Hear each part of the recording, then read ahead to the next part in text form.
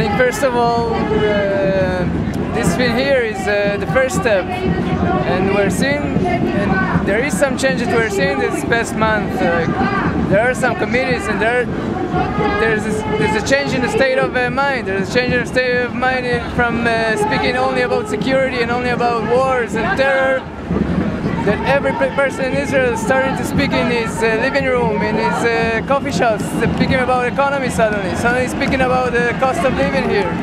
And it's already a very important step. So even if there will be an, another election, so we will see that uh, in the next election, the state of mind will be about the economy, about the state of people here, about the cost of living, about the expenses here.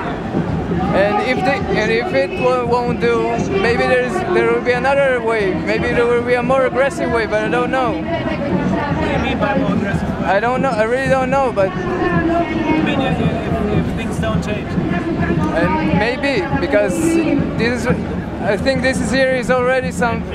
There's already a change that's going on here. People are changing their view. People are speaking about things. So I don't. I don't really know what it, what will be. We, we will see. I don't know.